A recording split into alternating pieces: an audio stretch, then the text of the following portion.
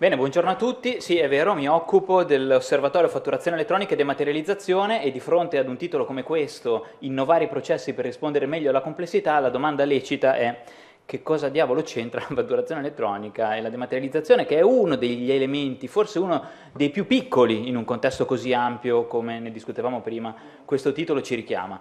Ecco, in realtà evidentemente nel mondo degli osservatori mi occupo anche di altre cose, eh, nell'ambito degli osservatori stessi ci sono anche iniziative che guardano i temi dell'agenda digitale e così via, avendo seguito parte di attività su questo fronte legate un po' ai temi che da sempre seguo sul fronte della ricerca, ovvero la gestione della relazione tra eh, la pubblica amministrazione e il mondo dei fornitori, quindi di fatto le imprese italiane, proverò con la mia presentazione a dare proprio un quadro di riferimento mettendo qualche numero, qualche dato sul tavolo e eh, qualche potenziale criticità specifica.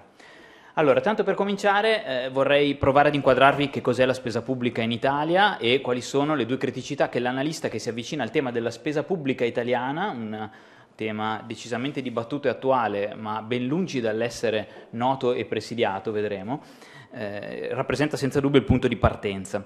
Guardando quindi dal taglio della spesa pubblica il tema della gestione della complessità, passo dalla fatturazione elettronica, me lo perdonerete, ma come dire, occupandomi prevalentemente di un osservatorio che si chiama così, è quasi naturale, per poi cercare di dimostrarvi con i due punti successivi che la fatturazione elettronica, virgolette, serve a poco, o meglio, serve a tantissimo se in relazione ad altre eh, attività che cercherò di mettere sul, sul tavolo. Tanto per cominciare, allora partiamo dalla spesa pubblica italiana per capire qual è questa complessità crescente da dover gestire. Inizio malissimo dal mio punto di vista perché io porto sempre, mi vanto anche di questa cosa, di portare dati molto aggiornati. Ebbene, questi sono dati del 2012, non hanno niente a che vedere con il concetto di molto aggiornato dal mio punto di vista, però sono dati su cui abbiamo una dimensione di ragionevole confidenza. Eh già, perché l'analista, tipicamente l'analista medio, qualunque sia il suo contesto di derivazione accademico, ricerca, eccetera, eccetera, ha a disposizione informazioni sul mondo della spesa pubblica, è un tema pubblico, solo che le ha a disposizione con una dimensione di ragionevole certezza circa un paio d'anni dopo che questa è stata sostenuta noi sappiamo subito come viene attribuita, come viene riva, eh, eh, ridistribuita all'interno delle diverse realtà, ma non sappiamo che cosa è stato acquistato, non sappiamo perché e queste cose si ricostruiscono dopo, in seconda battuta. Quindi tipicamente questa è una delle fotografie che oggi possiamo definire più aggiornate, circa 800 miliardi di euro, in cui vedete sotto come è composta percentualmente voto per pieno questa cifra, più o meno, poi c'è anche qualcosa di residuale, io in particolare in questo contesto voglio provare a prendere la complessità della gestione degli acquisti di beni e servizi, che a loro volta si ripartiscono più o meno in questo modo per tipologia di PA e per tipologia di acquistato. Lo vedete sotto. Bene, è un, un cruscotto sufficientemente ragionevole che ci fa pensare che la spesa pubblica sia eh, perlomeno nota. Ecco, proprio il ritardo con cui la si riesce a monitorare in modo efficace implica che nel momento in cui si fa politica, politica è la traduzione in un contesto molto particolare, diciamo quello governativo, del termine che nel mondo aziendale eh, è definito strategia, cioè capacità di riuscire a pianificare nel lungo periodo. Se io non ho dei dati credibili e ho dei dati un po' vecchiotti di due anni, nel momento in cui faccio una politica di attenzione alla spesa pubblica, rischio, in modo decisamente evidente, di andare a tagliare con l'approccio a pioggia. E questa grande novità non è affatto una novità, cioè è quello che abbiamo vissuto fino ad oggi. Riuscire a controllare che cosa c'è all'interno della spesa pubblica è un'opportunità perché facilita il processo decisionale e inverte l'approccio dal taglio a pioggia al taglio un pochino più eh, mirato, perlomeno consapevole. Eh, se questa però è la situazione di partenza, proviamo ad andare a vedere che cosa è stato fatto su questo fronte per provare a migliorare le cose.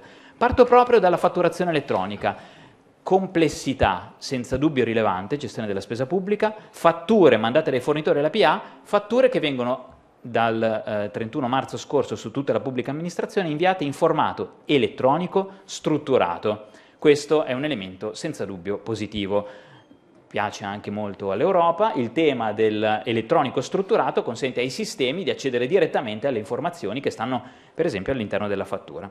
Come sta andando questa esperienza? Beh, questo è un grafico che inquadra i volumi di fatture ricevute mensilmente a partire dal 6 giugno eh, 2014 quando di fatto è partita la eh, fatturazione elettronica, vedete che è basso fino al 31 di marzo perché semplicemente riguardava la pubblica amministrazione centrale, e poi ha impattato sulle pubbliche amministrazioni locali. Lasciatemi dire che eh, parlando con chi stava dietro a questo tipo di progetto, ogni tanto trovavo anche la sensibilità di qualcuno che diceva la pubblica amministrazione centrale, essendo la pubblica amministrazione centrale, è una parte rilevante della spesa pubblica. No, assolutamente no, ma anche questo è un tema di mancanza di consapevolezza di qualcuno che lavora sulla spesa pubblica, naturalmente si dice peccato ma non il peccatore, no? Tipicamente esistono un paio di eh, elementi, diciamo così, di falsi miti, no? eh, la PA centrale spende più della PA locale, quindi eh, il centrale spende più della regione, che spende più della provincia, che spende più del comune, è esattamente il contrario, ma proprio il contrario. Il comune, soprattutto il grande comune, spende infinitamente di più di una regione, ma infinitamente di più di una regione. Nella sanità, eh, nelle regioni, se guardiamo al budget della sanità, abbiamo un'esplosione del valore della spesa all'interno delle regioni. Ecco, questi elementi eh, di consapevolezza sono evidentemente da tenere in buona considerazione. Però torniamo alla fatturazione elettronica, vediamo che ne abbiamo scambiate quasi 17 milioni quasi 17 milioni, funziona, quindi l'infrastruttura sì, bene, e funziona anche abbastanza bene perché dal punto di vista dei rifiuti eh, delle eh, fatture che vengono mandate a questo ecosistema il numero di quelle che vengono scartate per qualche dimensione di errore è davvero limitato, 6.3%. Uno dice come fai a dire che è limitato il 6%? Beh, in prima battuta perché in passato era più alto questo numero, quindi c'è una dimensione di miglioramento. In seconda battuta perché quando le imprese fanno progetti analoghi, si chiamano di Electronic Data Interchange, in cui si scambiano dati in formato elettronico strutturato, tipicamente nei primi tre mesi di attività hanno un tasso medio di rifiuto nettamente più alto di quelli su cui ci stiamo assestando ora. Quindi vuol dire che eh, per quanto complesso a partire da un percorso di uh, uh, dire, apprendimento si riesce ad andare decisamente più veloci. Quindi messaggio su questo fronte, la fatturazione elettronica nel nostro paese è partita, è partita con un obbligo che quindi eh, significa eh, è partita in modo decisamente forte, non è un'abitudine su questo fronte eh, quello che riusciamo a fare anche sul fronte dell'innovazione eh, digitale, qui ha funzionato e oggettivamente sta andando abbastanza bene.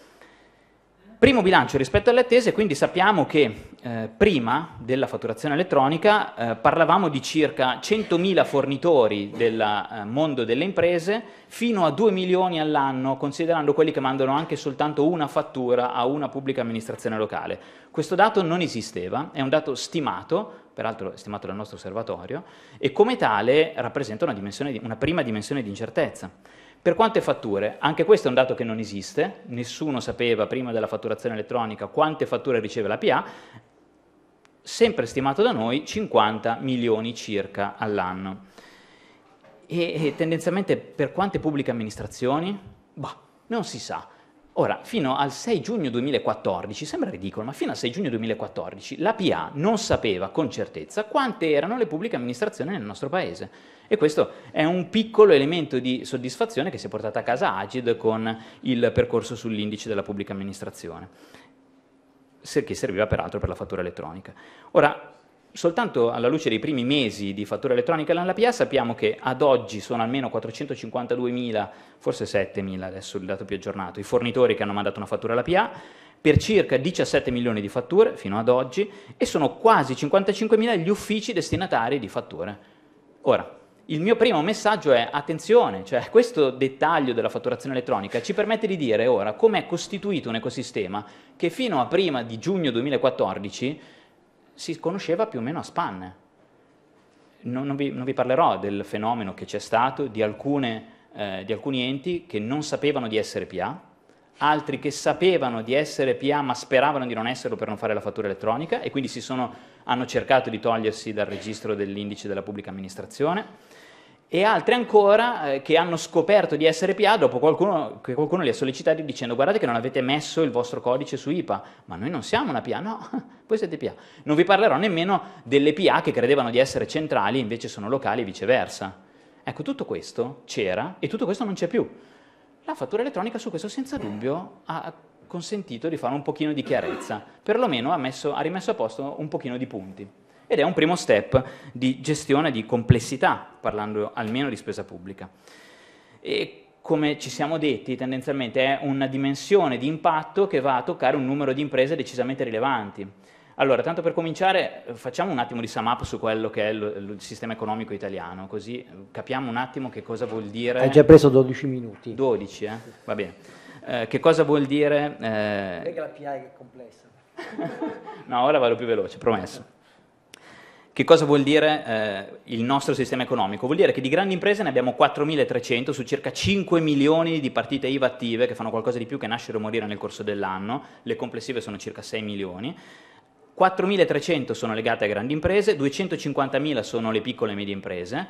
Se togliamo a circa 5 milioni 254.300 troviamo circa 5 milioni di realtà microscopiche, cioè microimprese tra 2 e 9 addetti e addirittura 3.2 milioni di imprese individuali. Un primo dato complessivo è che questo numero di circa 5 milioni è una costante, ce lo portiamo dietro da diversi anni, davvero molteplici, una decina, forse qualcosa di più. È un po' cambiato il mix qua dentro, è cresciuto moltissimo il numero delle imprese individuali e si è ridotto evidentemente quello delle imprese un pochino più strutturate. Questo non è necessariamente un indicatore di eh, rafforzamento del sistema economico, però questa è la situazione attuale. Se sono 100.000 i fornitori che toccano la fattura elettronica e magari fino a 2 milioni, considerando anche quelli che lo fanno sporadicamente, la fattura elettronica ha un ruolo culturale, quello di portare sul fornitore della PA la consapevolezza che mandare un file in formato elettronico strutturato è possibile e tendenzialmente dopo magari qualche mal di pancia iniziale è anche facile perché fatto una volta si ripete abbastanza, abbastanza facilmente. Questo è un ecosistema per cercare di raccontarvi che cosa vuol dire la fatturazione elettronica nel percorso di riduzione della carta a cui sono chiamate le pubbliche amministrazioni. È, una, è, animata, quindi così non si capisce. Il tema è, c'è della carta che gravita nel mondo della PA e delle imprese, lo vedete lì sopra PA imprese, e sotto ci sono dei contenitori di flusso, il flusso informatico in cui questa carta si deve trasformare. Non è il documento che si trasforma, è il processo che si digitalizza. Ecco, la fattura elettronica fa esattamente questo impone a tutti i fornitori della PA di cambiare le loro regole di mandare dei file in formato elettronico strutturato e quindi una buona parte del cartaceo in ingresso, almeno sul fronte fattura, eh, per carità, della PA si trasforma in flusso. Ma questo implica che alcune imprese hanno già capito che forse è meglio guardare alla gestione dell'attivo, se la PA è uno dei nostri clienti, in modo astuto e quindi mandare a tutti questo tipo di eh, processo diciamo così, di documento in formato elettronico strutturato. Questo eh, fa, ha un effetto richiamo sul mondo delle imprese che scoprono che in ingresso iniziano ad avere file in formato elettronico strutturato, che quindi possono essere dati in pasto direttamente ai sistemi informativi, bypassando una serie di attività amministrative. Su questo fronte poi c'è qualcosa ancora di più, il fatto che se mi accorgo che lato passivo riesco a digitalizzare qualcosa, a questo punto sono io, impresa, che vado dai miei fornitori e gli dico senti scusa ma non è che mi puoi mandare le fatture come le mandi alla PA? Perché io risparmio molto e questo è un ulteriore modo per riuscire ad abbattere quella carta.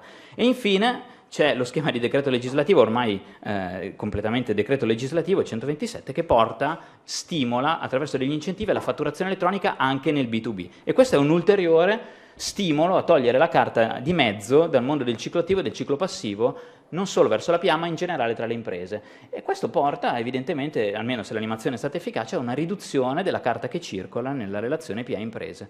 Direi quindi che il valore culturale di questa innovazione è senza dubbio importante quanto impattante, però è un piccolo dettaglio perché se la pubblica amministrazione riceve la fattura in formato elettronico e dietro non mette una gestione di workflow informatizzata che consente di gestire la fattura in formato elettronico, semplicemente avrà probabilmente costi uguali a prima se non addirittura maggiori, ma se dietro riesce a dotarsi della giusta dimensione di digitalizzazione ha un abbattimento drastico dei tempi amministrativi e questa cosa non lo dico io che sono invasato, lo dicono le imprese che lo fanno da anni e che su questo fronte hanno ridotto drasticamente il personale amministrativo. Certo, non si può ridurre il personale della pubblica amministrazione, no? Ho colto la dimensione di brivido nella, lungo la schiena quando ho detto questo tema. Ma se dobbiamo mantenere il servizio al cittadino inalterato a fronte di una riduzione delle risorse disponibili, avere risorse, in questo caso chiamo le, risorse per, le, persone risorse, questo è molto sgradevole, ma sono ingegnere, quindi non posso... Eh, avere risorse che fanno attività non ha valore aggiunto senza dubbio non è un elemento di valore. In questo caso, quindi, guardare la fatturazione elettronica bene, ma guardiamola nel ciclo più ampio, come peraltro sta facendo, unica tra tutte le regioni in modo decisamente serio, proprio l'Emilia-Romagna, che guarda al mondo della fatturazione elettronica come a un qualcosa di coeso con tutto ciò che è la relazione dei fornitori e integra tutto quello che riguarda la relazione della pubblica amministrazione con eh, i suoi fornitori. Questo è un percorso che evidentemente richiede una serie di progettualità e una serie di elementi specifici che però sono in grado di portare eh, benefici in termini di risparmio sulla riduzione delle attività non a valore aggiunto decisamente impattanti. Qua ho una slide che si compone da sola e che vi dà un'idea di quello che è il valore che si può portare a casa in termini di eh, gestione di progetti di digitalizzazione proprio nella relazione tra un cliente, nel caso specifico potrebbe essere la PA, ma lo sono molte altre imprese che in questo percorso stanno muovendo passi convinti, eh, e eh, i loro fornitori. L'integrazione complessiva di tutta questa relazione in formato elettronico strutturato ha un impatto debordante, fino a 30 barra 80 euro a singolo ciclo, un ordine che diventa una consegna, che diventa una fattura, che diventa un pagamento, risparmiati, prevalentemente facendo leva su un risparmio in attività di manodopera. Questo significa non tanto usare la tecnologia, ma rivedere i processi di gestione di questo eh, ciclo. Per mettere a fuoco, chiudo, per mettere a fuoco e controllare e gestire la spesa, quindi tornando all'inizio, eh, la fatturazione elettronica non basta. Oggi vediamo la spesa pubblica più o meno in questo modo, cioè non si capisce molto bene, sappiamo che di lì dietro c'è scritto spesa pubblica ma è quantomeno sfocato. Cosa succede quando vediamo qualcosa di sfocato e siamo da un ottico, da un oculista? Che ci mettono delle lenti per riuscire a vederlo meglio. Ecco, alcune di queste lenti sono state sviluppate, c'è il sistema SIOPE che monitora i pagamenti della PA ai fornitori. Bene, questo ci dà un'informazione sulla spesa sostenuta, non sulla spesa pubblica.